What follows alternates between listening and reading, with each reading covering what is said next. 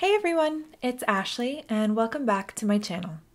I'm so excited today to be showing you Spellbinder's new small die of the month for February 2019. And this month is a super versatile die. It's got lots of accoutrement dies, so let's just go ahead and show you all of those now. Those word dies there say spring and greetings you get this really cool border die type deal, and then all of these little dies that you can use uh, for paper piecing on your border die. So I'm going to show you a couple of ways that you can use this die. The first one that I'm going to do is a partial die cutting technique. So I'm going to use my Spellbinders Platinum die cutting machine, Platinum 6 die cutting machine. And I'm going to go ahead and center that on the top portion of a piece of cardstock. I'm going to switch the plates because I'm going to be cutting this facing up. So I'm going to use my top plate, or what is normally my top plate, on the bottom. I'm going to turn the cardstock around so that the die is facing up. And then I'm going to use my cut plate, or what is normally my cut plate, on the top. This way, when the die cutting machine cuts the die, because it's facing up, it will cut it onto my cut plate. I'm going to hang off the edge that would cut this off completely. So that bottom portion there, that's going to cut the entire die from the paper, I'm going to leave hanging off of the die cutting machine and the plates. And this is so when you remove the die, it's intact with that cardstock. I'm going to use my tool-in-one just to make sure I get all of the pieces out. And then you get this really cool border at the top of your cardstock.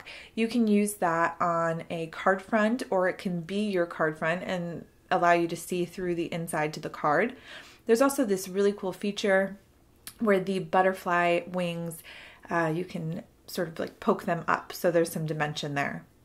I also used this with an embossing mat on my die cutting machine and it embossed that image beautifully into the cardstock. So this is just a couple ways that you can use the die. And I want to be honest with you guys, I did not realize for a very long time that this was the intended purpose of the card until I looked at it a little bit further. Uh, but this is another way that you could use the die, just sort of as like a lacy overlay or something to close in your card front. And it's absolutely gorgeous. So I just wanted to show you a photo of something that I created with it, using it in the way that it's intended to be used. But I'm just going to go ahead now and get into the way that I used it for this video. I went ahead and cut it out completely from a piece of cardstock and colored in the pieces respectively. I also popped up the wings there for dimension and used those additional dies to paper piece onto my, uh, a couple of the flowers. I think there was about four that I used. So I'm now going to go ahead and create my background for this card. So I'm going to take a piece of watercolor cardstock and then some low tack painter's tape and paint, I'm sorry, tape it uh, to a board. And this makes it easy so that I can pick up the board and move the colors and the water around if I need to. So now I'm going to go ahead and start my painting. I am using the Altenew watercolor paints and these are the paints in the pan.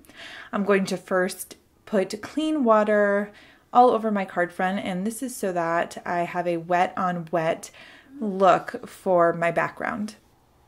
I took some of the colors there over on the right and just put them in the mixing portion of the palette, or at least what I'm using as the mixing portion of the palette. And I just used the colors themselves. I didn't really add any other colors to those. Uh, these are super vibrant, so I have to add a lot of water if I want to dilute it.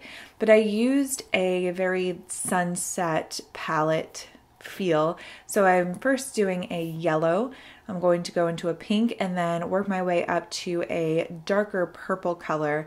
And I'm going to do this a couple times and make sure that I let them blend all in together. I don't want it to look harsh or like a sun and then the colors in the sky are radiating from the sun. I just sort of want it to all look like one cohesive background or color that just gets darker as it moves up. So to do this, I'm going to go ahead and apply the watercolor a couple times, but I am going to dry it in between, and this just gives me a better idea of what it's going to look like at the end. To remove the painter's tape and make sure I don't tear any of the cardstock, I'm going to pull the tape back onto itself. So I sort of just fold it over onto itself and then pull it easily down from there. And this makes sure that I don't get any tears in my cardstock. I have a little bit of warping, but I'm not going to worry about it because I'm going to go ahead later and adhere it to my card base with foam tape. And that really helps all of the warping to sort of work itself out. I'm going to go ahead and adhere this with foam, a piece of foam or craft foam. So how I'm going to do that is die cut the same die out of this craft foam and I'm going to cut out these butterfly wings because I'm afraid that I'm not going to get it adhered perfectly and I'm going to leave those butterfly wings up for dimension anyway, so I don't think it's necessary that I have foam behind them. So after I'm done doing all of the trimming, I'm going to adhere the die cut to my craft foam die cut. And to do that, I'm using my art glitter glue with the very fine tip that is available for you to add onto it. And this allows a really fine dispensing of glue so it doesn't overpower it. And then I'm just gonna take a moment to finagle it all around and make sure that it lines up perfectly and that you don't see any of the craft foam peeking out from behind the uh, paper die cut. Again, using my art glitter glue, I'm going to adhere or put the glue onto the entire back of my die cut, making sure to get all of those little pieces. I don't want anything uh, coming up or pulling at the die cut itself to make it unadhere from the cardstock. And I'm going to adhere it to the bottom of my uh, cardstock or card front there. And you can see obviously I use this in a horizontal orientation because I wanted to make sure I got the entire die cut on there. I didn't want to trim any pieces off because it's so pretty and I just wanted to make sure that the entire uh, die cut was being shown. I wanted to bring together the black of the butterfly somehow, so I ended up using a very tiny, thin uh, sentiment strip with black cardstock. And this is a Simon Says stamp sentiment that says, You grow through what you go through. And I thought that it was just really fitting for the image of the die cut. So this is the final card. I hope that you've enjoyed learning how I used the small die of the month for February. As always, all of the links to the products are in the description, as well as a link to the Spellbinders Die of the Month page so that you can read up on it and get a little bit more familiar if you are not. Thank you so much for stopping by. I will see you again very soon. Thank you. Bye.